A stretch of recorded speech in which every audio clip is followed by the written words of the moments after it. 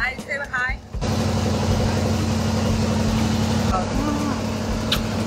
সন্তানকে নিয়ে অপু বিশ্বাসের লাইভ নিয়ে চলছে তুমুল আলোচনা সমালোচনা। পুরো লাইভ জুড়ে দেখা যায় সাকিব পুত্র আবরাম খান জয়ের মন খুব খারাপ। এক পর্যায়ে অপু জয়কে হাসি খুশি থাকতে নির্দেশ দেন। সবাইকে তুমি একটা লাভ দিয়ে দাও এমন করে। ভালো করে দাও বলে কি এভরিবডি লাভ ভালো করে দাও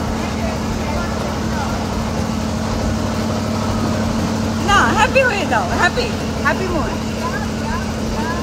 মা ছাড়া দীর্ঘদিন বাবা সাকিব খানের সাথে থাকার কারণে পুত্র জয় বাবা সাকিবের অনেক ভক্ত হয়ে গেছে। তাই তো বাবাকে ছেড়ে মা অপু বিশ্বাসের সাথে একা একা ঘুরতে ভালো লাগছে না জয় হয়তো সাকিব খানকে প্রচণ্ড মিস করতেছে জয়। এমনটাই মনে করছেন নেটিজেনরা। সাকিব ও অপুর ভক্তরা ছেলের জন্য হলেও দুজনকে একসাথে আবার সংসার করার অনুরোধ করেছেন প্রতিনিয়ত। কলকাতা শুটিং শেষে অনেকদিন পর দেশে ফিরেছেন অপু বিশ্বাস। কিন্তু এতদিন পর মাকে দেখার পরও ছেলে জয়ের মন এত বিষণ্ণ কেন? আপনাদের কাছে কি মনে হয়? অবশ্যই আমাদের কমেন্টস করে জানাতে পারেন। গুজব নয় সত্য নিউজ সবার আগে পেতে মিডিয়া নিউজ বাংলাকে সাবস্ক্রাইব করে রাখুন।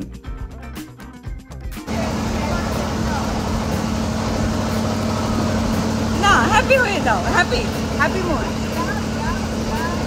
মমকে একটা পাপ্পা দাও।